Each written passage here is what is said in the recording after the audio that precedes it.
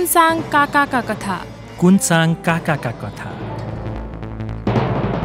बुलबुल कम्युनिकेसनको प्रस्तुति YouTube channel श्रुति सम्वेगमा खगेन्द्र सङ्ग्रौलाद्वारा लिखित कथाहरूको वाचन श्रृङ्खला। अच्युत घिमिरेको वाचन। कुनचाङ काकाका कथा? कुनसाङ काकाका कथा?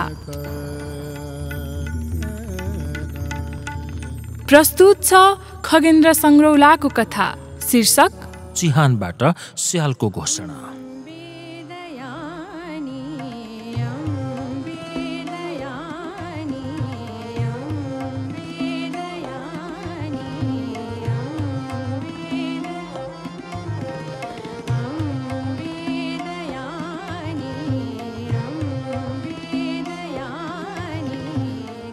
झिना मसिना किरा फटाङ्ग्रा सिवाए पेट टन्न भरिएर मन सन्तुष्ट हुने गरी उसले खान नपाएको एक साता भइसकेको थियो।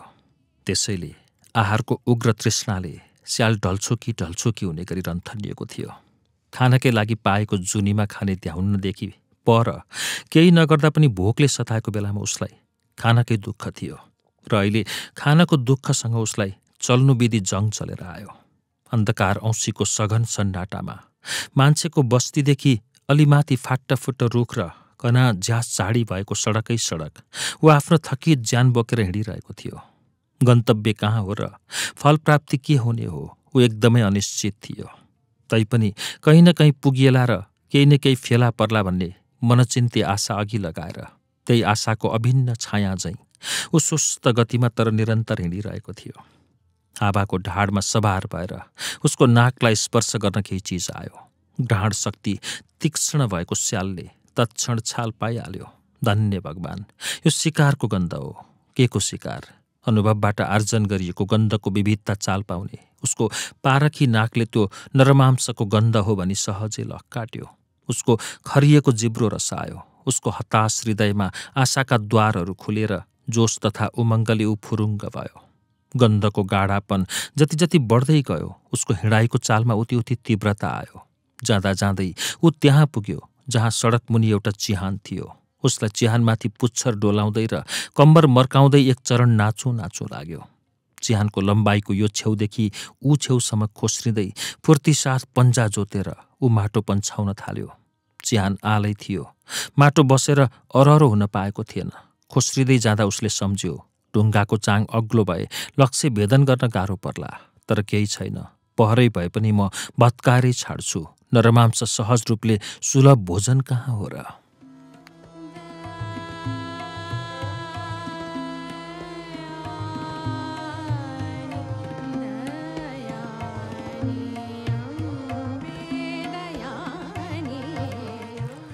प्रचलित अनुभवको ऐनामा हेर्दा आज आश्चर्यचकित भयो। एक फिट जति माटो उधिन्दा नउधिन्दै लास त सर्लक्कै देखिए पो हाल्यो। मान्छे जातको सनातन रीत बमोजिम लासको रक्षार्थ त्यसमाथि ढुङ्गा ओछ्याइएका रहेनछन्। स्यालले प्रसन्न मुद्रामा मान्छेको बेहोसीपन वा रीत परिवर्तनप्रति कृतज्ञता ज्ञापन गर्यो। कारण जेसुकै होस् स्यालको मर्का बुझिदिने मनुष्यको सतत जय होस्। तर दुर्भाग्यवश उसको हर्षोल्लासको आयु लामो हुन पाएन। त्यो त उत्निखेरै सघन उदासीमा पो परिणत भइहाल्यो।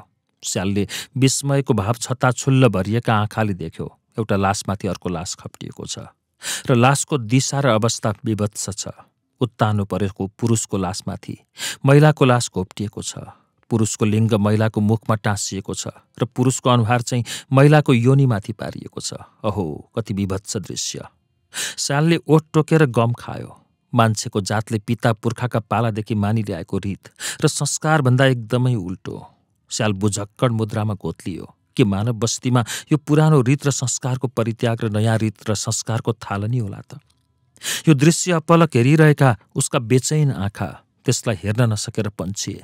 उसलाई त्यसै त्यसै दिग्मिग लागेर आयो। अहो कति विभत्स। स्यालले सोच्यो सभ्य हुँ भनेर दम्भ प्रदर्शन गर्ने मान्छे साँच्ची नै बौलाएछ क्यार। उद्विग्न मुद्रामा पन्जामा चिउँडो अड्याएर ऊ झोक्राउन थाल्यो।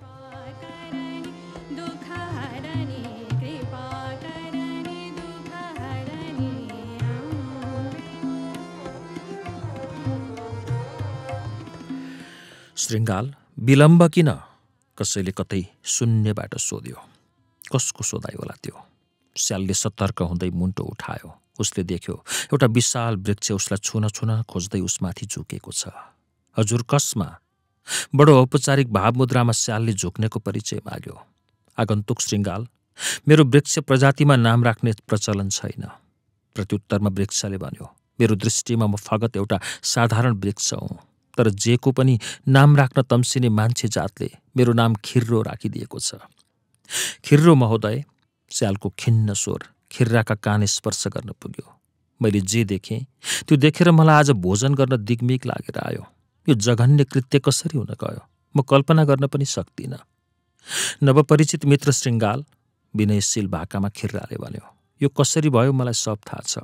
घटनाक्रम आदिदेखि अन्त्यसम्म देख्ने साक्षी म हजुर समक्ष यहाँ जिउँदै झुकेको छु। स्यालले मुन्टो उठाएर खिर्रालाई सूक्ष्म दृष्टिले हेऱ्यो। उसको पनि मुद्रा उसको जस्तै उदास थियो। खिर्रो महोदय विनित भावमा स्यालले जिज्ञासा प्रकट गर्यो। हजुरको कृपा भएमा के यो क्रूर कथा म सुन्न पाउला? अवश्य खिर्राले भन्यो। अनि ख्वाक्क खोकेर गलो सफा गर्दै ऊ कथा कहन थाल्यो। हिजैको कुरा हो। हस्ताउँदो मलिन घामका पहेँला किरणहरू हेर्दै म डिलमाथि चुपचाप उभिएको थिएँ। तल सडकमा। हठात मेरा जरा समेत खलबलिने गरी कुनै चिजको विस्फोटन भयो। हँ? विस्फोटन? ज्यू। भयानक विस्फोटन। अनि विस्फोटनपछि के भयो मित्र? धुवा केही पातलो भएपछि मैले देखेँ चारैतिर मानिसका चोकटा लाम्टा छरिएका छन्। सडक रक्ताम्बे छ। खिर्रो महोदय ती जो जीवन चोइटिएर चोकटा लाम्टा भए ती को थिए हुनन्? ती बाघछापे वर्दीमा आएका फौजीहरू थिए। जोगिएर भाग्नेहरूलाई देखेर मैले यो कुरा चाल पाएको हुँ। मित्र खिर्रो के यी दुई लास तिनैका हुन् त? न न खिर्राले नकार्यो। यिनको कथा अर्कै छ। महोदय मेरा यी व्याकुल कानले त्यो अर्को कथा सुन्न पाए हुँदी। ठिक छ यहाँलाई म निवेदन गरौँला।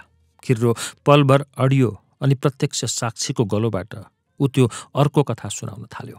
विस्फोटन भएको अल्ली बेरपछि बाघछापे वर्दीधारीहरूको एउटा झुन्ड आइपुग्यो।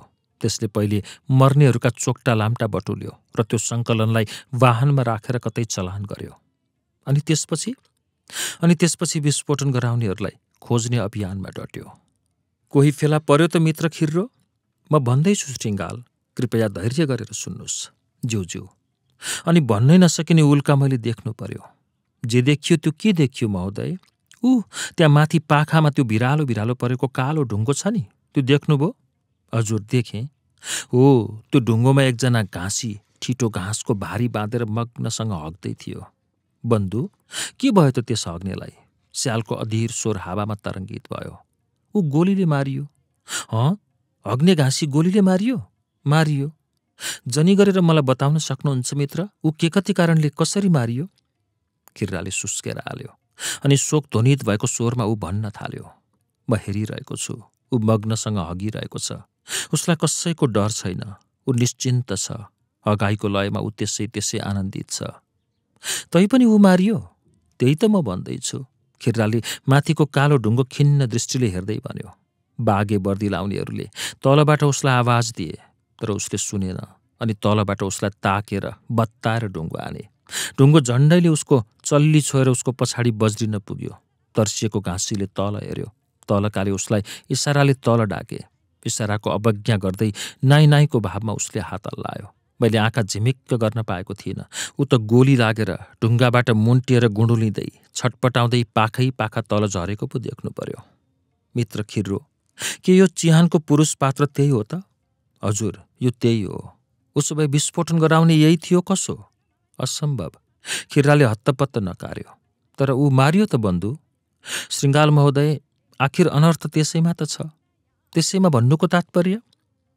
मेरो अनुमान के छ भने आगन्तुक मित्र कान सुन्ने जति घाँसे दाउरीहरू विस्फोटनको आवाज सुनेर ज्यान जोगाउ अभियानमा डटे हुनन्। यो अभागी बहिरो थियो। यो बेखबर भएर त्यत्तिकै आफ्नो धुनमा काल कुर्दै हग्न बस्यो। उसो भए बहिरो हुनु नै यसको मारिनुपर्ने अपराध भयो होइन कि? म अनुमान गर्छु श्रृङ्गाल। सत्य त्यही हो। स्यालले सन्तापपूर्ण सुस्केर हालेर भन्यो। यहाँको अनुमान सुनेर मलाई भन्न मन लाग्यो मित्र। बस्तीको दोपाया जन्तु बौलायो। कुरो ठिकै हो मलाई भन्न मन लाग्यो मित्र श्रृङ्गाल। हजुरका मुखबाट एउटा कटु सत्य बोलियो।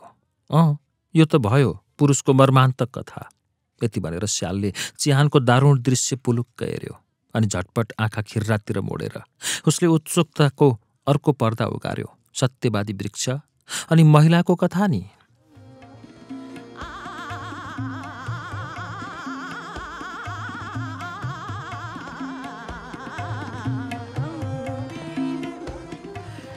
यो पनि देख्ने साक्षी म छु। गलोभित्र दबिएको धोद्रे धोद्रे स्वरमा खिर्राले दोस्रो कथाको रहस्योद्घाटन गर्यो। मित्र अग्लो ठाउँमा हुनुका आफ्नै फाइदा छन्। म यो डिस्कोमाथि उभिएर आफ्नो सेरोफेरोमा घट्ने यावत घटना देख्न सक्छु। अँ यो त बुझेँ खिर्रो महोदय। बिचैमा हस्तक्षेप गर्दै स्यालले बेग्र खुल्दुली पोख्यो। तर यो महिला जो मारी यो चाहिँ कसरी मारी त? कथामा म त्यतै त जाँदैछु। बिचैमा व्यवधान गरेकोमा अप्रसन्नता व्यक्त गर्दै खिर्राले कथाको तन्तुलाई तन्कायो। माथिबाट म हेर्दैछु तल यो झाडीको ठिक मुनतिर एउटी किसान तरुनी डोकामा गाग्री बोकेर पानी भर्न कुवातिर लम्किँदैछे। दुईजना वर्दीधारी जवानले उसलाई बाटैमा छेकेर सोधे कोही यता भागेको देख्यौ?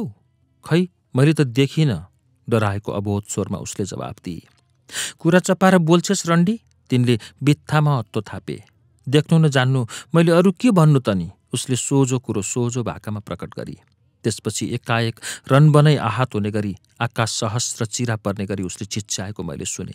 आँखा झिमिक्क पारेर यसो हेर्छु त ऊ त्यहाँ छैन। केवल झाडीभित्रबाट उठेको हृदय विदारक चित्कार मात्र सुनिन्छ। गुहार गुहार भने जस्तो मारे मारे भने जस्तो। मैले सुन्दा सुन्दै आर्त स्वर मलिन हुँदै गयो। त्यो मर्दै गयो र अलिबेरमा त्यो त्यतै कतै बिलायो। उसो भए उसलाई पनि त्यहीँ मारे होइन के? न्यायोचित रोषका साथ स्यालले प्रश्न गर्यो। मित्र श्रृङ्गाल कथामा म त्यहाँ पुग्नै लागेको छु। अनि अनि केही बेरपछि त्यो तरुणी धर्मराउँदै घरिघरि हातले भुइँ टेक्दै बाटामा निस्की। हे भगवान् त्यसको त्यो रूप त्यसको त्यो दशा अहो मेरा संवेदनशील नवागन्तुक मित्र समक्ष म त्यसको बयान कसरी गरौँ? गरौँ गरौँ प्रत्यक्षदर्शी मित्र म त्यो सुन्न बेग्र छु। श्रृङ्गाल बन्धु किसान तरुणी सर्वाङ्ग नाङ्गै थिए उसको जिउभरि हेरिन सक्नु चोटपटक थिए। उसको कम्बर मुनिबाट बगेको रगत उसका पिँडुला छिचोल्दै कुर्कुच्चाबाट भुइँमा तप तप तप तप चुइरहेको थियो। ऊ सुक्क सुक्क गर्दै आफ्नै लास बोकेर हिँडे चाहिँ सुस्त सुस्त एकदमै सुस्त सुस्त घिसारिरहेकी थिए। ती दुई वर्दीधारी बाटाको छेउमा उभिएर बडो सन्तुष्ट मुद्रामा ऊ गएको हेरिरहेका थिए। जेओस ऊ बाँचेर गई? स्यालले खिन्नताको बीचमा सान्त्वना खोज्दै किन्चित चयनको सुस्केर हालेर भन्यो। अतिथि श्रृङ्गाल दुर्भाग्यवश कथाको अन्त्य त्यति सुखद रहेन। खिर्रो महोदय त्यस दुःखद कथामा के छ? त्यो पनि जनी गरेर मलाई वर्दीधारीले सशङ्कित हुँदै साउतीको भाकामा सल्लाह गरे। यसलाई जिउँदै छाड्ने हो भने यसले गाउँभरि हुइयाँ पिट्छे। त्यसकारण यसलाई यहीँ ठिक पार्नुपर्छ। त्यसो भए हामीलाई अबगाल पनि पर्दैन कोटा पनि बढ्छ। यति भनेर खिर्रो मौन भयो। विशाल काय मित्र कथा सकियो? श्रृङ्गाल यो कथा सकिँदा उसको एक बारको जुनी पनि सकिनेछ। यति भनेर उसले गहिरो सुस्केर हाल्यो।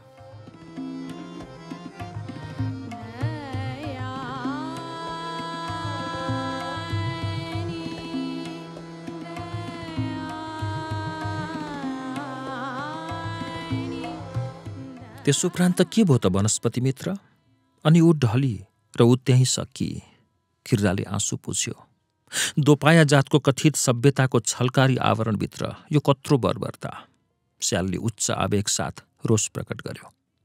कल्पना गर्नुहोस् त आतिथ्य मित्र मानवको आडम्बरी कायाभित्र लुकिबसेको दानवले बाहेक अरू कसले यस्तो निज कृत्य गर्न सक्छ? इष्ट श्रृङ्गाल सत्य हो कसैले सक्दैन। उद्विग्न मुद्रामा बिदा हुन खोज्दै स्यालले सोध्यो यो विदीर्ण कथा अब टुङ्गियो कसो? न न कथा बाँकी छ। बाँकी कथामा कुनै सुखद दृश्य हुँदो हो कि वनस्पति महोदय? आदरणीय श्रृङ्गाल यो बडो दुःखको कुरा हो। कथाको शेषांश झनै भयावह छ। त्यो भयावह शेषांशमा आखिर के छ? त्यसमा त बन्धु क्रूरताको पराकाष्ठा नै छ। मित्रलाई झिझ्याट लाग्दैन भने तै तै यो पनि म किन नसुनु? अतिथि सामु मैले निवेदन गरिहालेँ। बलात्कारपछि किसान तरुनी मारी। हो यो त ज्ञात भइ नै सक्यो। अनि तत्पश्चात? तत्पश्चात उनै बलात्कारीका हातबाट उसका स्तन छ्याक छ्याक काटिए। हो र स्याल जस्क्यो। पहिले बलात्कार अनि हत्या अनि त्यसपछि स्तन छेदन। सभ्य हुँ भनी मिथ्याभिमान गर्ने मान्छेको संसारमा यहाँसम्मको अपराध हुन सम्भव छ? मित्र श्रृङ्गाल प्रत्यक्ष देखि जान्ने म साक्षी बोलिरहेको छु। दोपाया दानवको सत्यानाश होस् क्रोधको चुली टेकेर स्यालले कम्पित स्वरमा नारा लगायो अनि पलभरको सन्नाटापछि उसले थप्यो। यो आमाको हत्या हो। इतिहासभरिको क्रूरतम हत्या हो यो।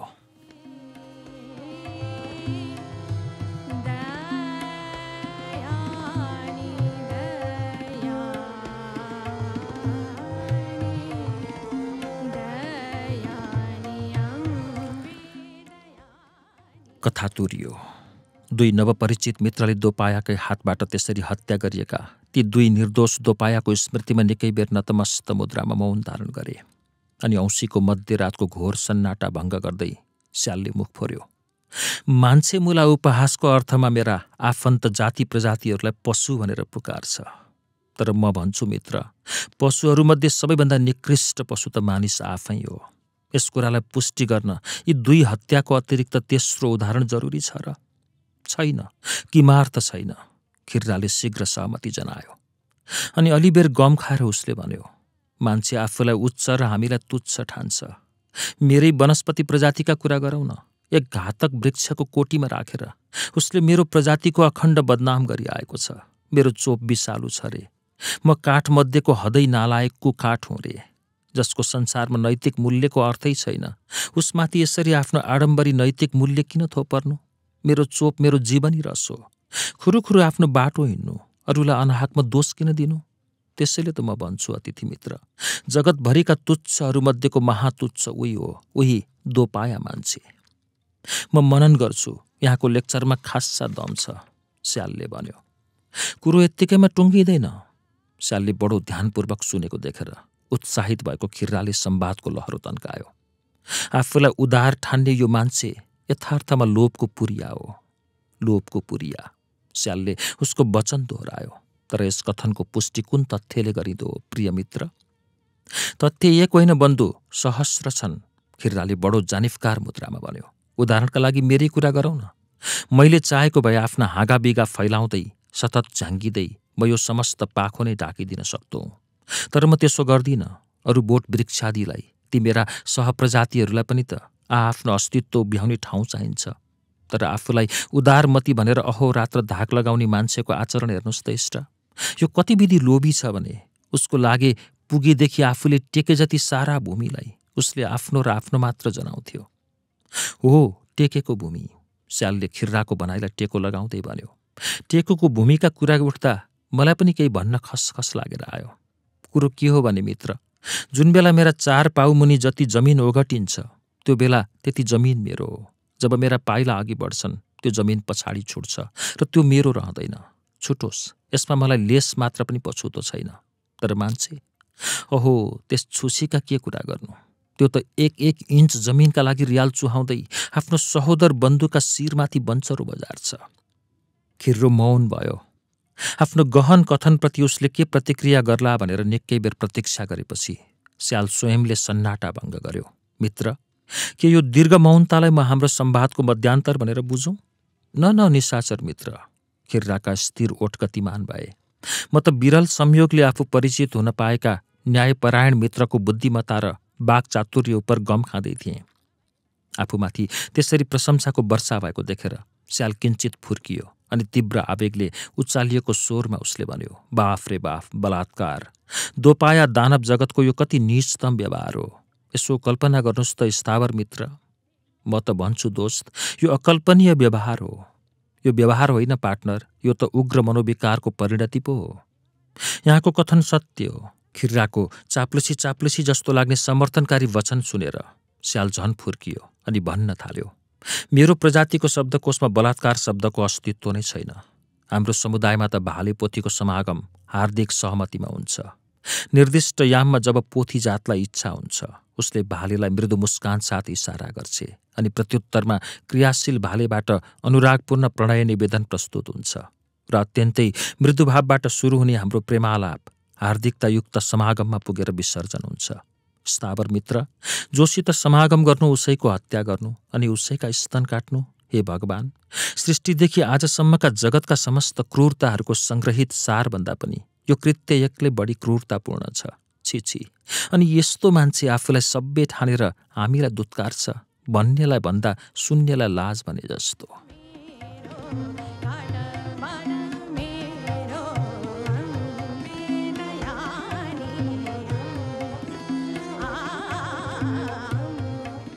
खिर्रो पुनः मौन भयो।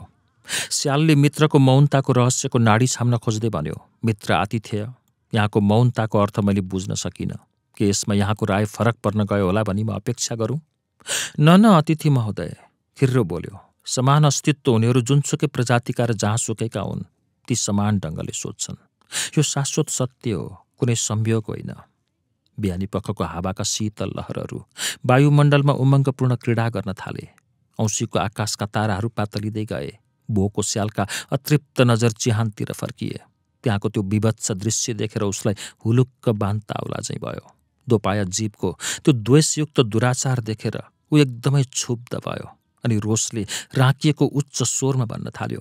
विस्फोटक पदार्थ बिछ्याउने चतुर उपियाँहरू सुरक्षित कुनातिर फड्किए अनि अकिञ्चन जुम्राहरू अकार्य कानमा परे यो कस्तो विडम्बना? विकराल विडम्बना। चिहानतिर पलक हेरिरहेको स्यालको अन्तरमा अनियन्त्रित क्रोधको ज्वाला एकाएक उर्लियो र उसको श्वास प्रश्वासको गति तीव्र भयो अनि अगाडिका पन्जा उचालेर तल दोपायाहरूको बस्तीतिर दृष्टि फिजाउँदै प्रचण्ड चुनौतीको भाषामा ऊ कोर्लिन थाल्यो म यो नरमांस कालत्र खान्न। बस्तीका बर्बर दोपायाहरू हो सुन! तिमीहरू म र मेरो प्रजातिलाई उपहास गर्ने अर्थमा स्याल भनेर पुकार्छौ। तर म भन्छु स्याल उपहासजनक संज्ञा हो भने तिमीहरू महास्याल हौ। त्यसैले तिमीहरूको जघन्य बर्बरताका मर्मान्तक कथा कहिरहेको। यो चिहानमाथि उभिएर म ऐलान गर्छु हे दोपाया हो कथित सभ्यताका आडम्बरी वस्त्र फुकाल सर्वाङ्ग नाङ्गो हो र आफ्नो अस्तित्वको कुरूप सारलाई यथार्थका आँखाले एकचोटि अवलोकन गर। म भन्दैछु सुन आफ्ना निर्दोष र अकिञ्चन बन्धु बान्धवको हत्या गर्ने तिमीहरूको मती देखेर चारै दिशाले लाजले मुख छोपेका छन्। बुलबुल कम्युनिकेसनको युट्युब च्यानलमा। अहिले तपाईँले सुन्नुभयो खगेन्द्र सङ्ग्रौलाको कथा। शीर्षक थियो चिहानबाट स्यालको घोषणा। कुनसाङ काकाका कथा श्रृङ्खलामा आजको कथा वाचन कस्तो लाग्यो? खगेन्द्र सङ्ग्रौलाको अरू कथा सुन्नको लागि यसै च्यानलको प्लेलिस्टमा जानुहोला। कथा उपन्यास सुनिरहनका लागि सब्सक्राइब गर्नुहोस् बुलबुल कम्युनिकेसन